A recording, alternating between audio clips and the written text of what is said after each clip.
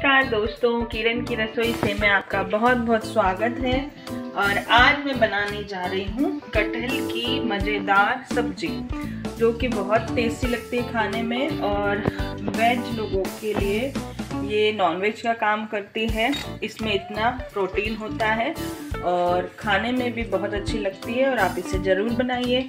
मैं इसे बनाने का आसान तरीका आपको आज बता रही हूँ। सबसे पहले मैंने कटहल का छिलका उतार कर उन्हें छोटे पीसेस में काट लिया है। ज़्यादा छोटे नहीं काटे और बीज साथ में काटे हैं और छिलका मैंने इसका उतार के इसे अच्छी तरह धो लिया है। और इसमें ग्रेवी ज़्यादा लगती है तो मैंने टमाटर और प्याज की ग्रेवी ज़्यादा बनाई है। मैंने चार बड़े टमाटर लिए हैं, उसमें तीन हरी मिर्च लेकर उसे मिक्सर में ग्राइंड किया। प्याज मैंने पाँच लिए हैं बड़े, और उसमें लहसुन की कलियाँ ली हैं पाँच, और अदरक छोटा इंच लिया है, एक आधा इंच, और उससे भी मैंने मिक्सी में ग्राइंड करके पेस्ट बनाया। और मैं इसके साथ ले रही हूँ एक कटोरी पूरा भर कर दही। और मैं लूँगी देगी मिर्च, एक चम्मच, जीरा, आधा चम्मच आधा चम्मच हल्दी, आधा चम्मच कड़ी पाउडर, आधा चम्मच लाल मिर्च, एक चम्मच पिसा हुआ धनिया, एक चम्मच नमक, कसूरी मेथी, एक डेढ़ चम्मच धनिया पत्ती सजाने के लिए और गरम मसाला आधा छोटा चम्मच। तो आइए दोस्तों, बनाते हैं कटहल की मज़ेदार सब्ज़ी। सबसे पहले मैंने कढ़ाई को गैस पे रख के तेल गरम करने के लिए रखा है, क्योंकि मुझे कटहल सबसे पहले फ्राई करना है। डीप फ्राई मैं इसको करूँगी और लाइट ब्राउन होने तक इसे मैं पकाऊँगी। तेल मेरा गरम हो चुका है और मैं आइए इसमें कटहल के पीसेस डालती हूँ।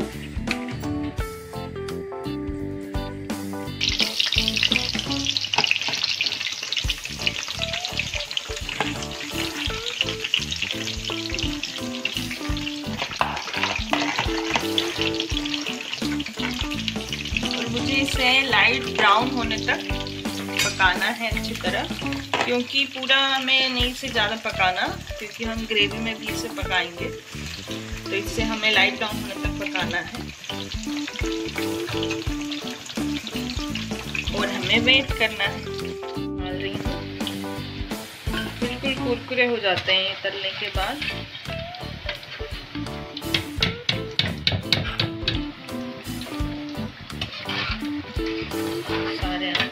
टिश्यू पेपर पर इस तरह निकाल लें ताकि एक्स्ट्रा तेल आपका निकल जाए।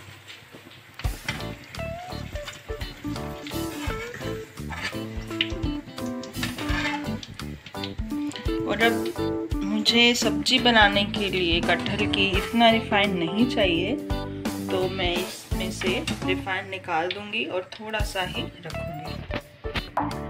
मैंने इसमें एक बड़ा चम्मच रिफाइंड लिया है, सब्ज़ी, कटहल की ग्रेवी बनाने के लिए। इसमें मैं जीरा डाल रही हूँ। जीरा ब्राउन होने मैं उसके बाद मेरा ये ऑनियन, गार्लिक और जिंजर का पेस्ट इसमें मैं डालने जा रही हूँ। अभी देखिए जीरा मेरा ब्राउन हो रहा है।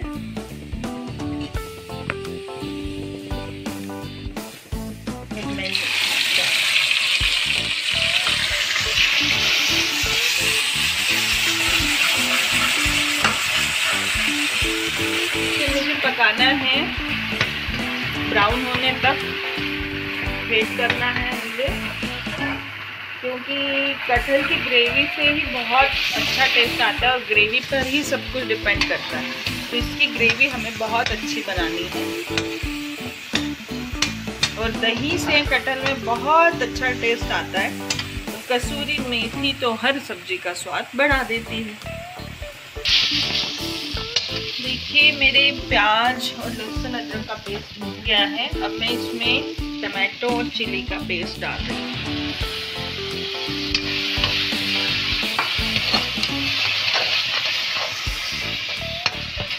इसमें मैं सारे मसाले डालूँगी, क्योंकि कटहल का टेस्ट तलने के बाद बिल्कुल फीका होता है तो इसमें मसाले मैं डालूँगी। उसी से सारा इसका फ्लेवर आएगा। मैं डाला है नमक।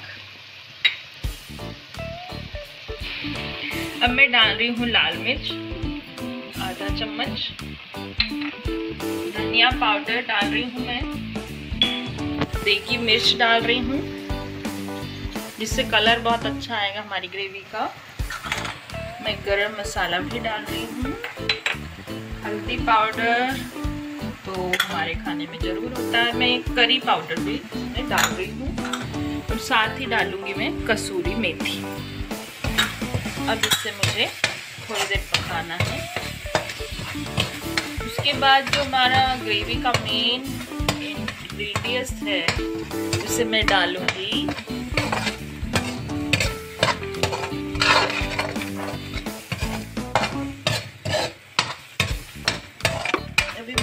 टमाटो के साथ मसालों को और सारे टेस्ट को पकने देना है।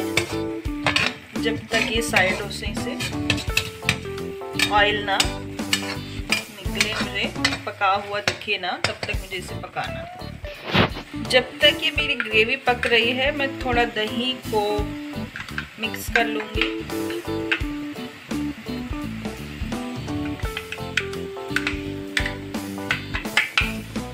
साथ में मुझे ग्रेवी भी हिलाते रहना है।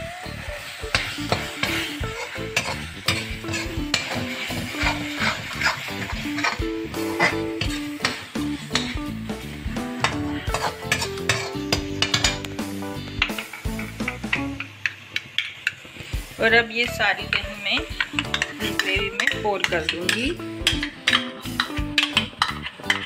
और इसे अच्छी तरह करूँगी और थोड़ी देर तक पकाऊँगी। कम से कम पाँच सात देखिए कितना अच्छा कलर आ रहा है। दही डालने के बाद और खुशबू भी बहुत अच्छी आ रही है। सारे मसालों की अच्छी तरह मिक्स करना है इसमें।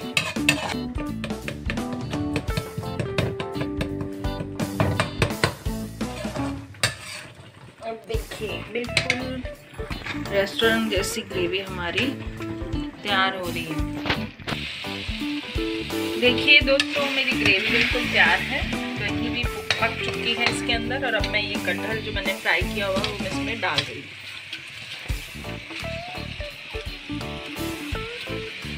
इसे मैं अच्छी तरह मिक्स करूँगी। ये देखिए, मेरा कटहल मसालेदार बिल्कुल तैयार है। और इसे आप खाइए और आनंद लीजिए। किरण कुछ तैयार है। और इसे आप खाइए और आनंद लीजिए। किरण की रसोई से को लाइक शेयर और सब्सक्राइब करना ना भूलें और कमेंट बॉक्स में कमेंट ज़रूर करें। Thank you so much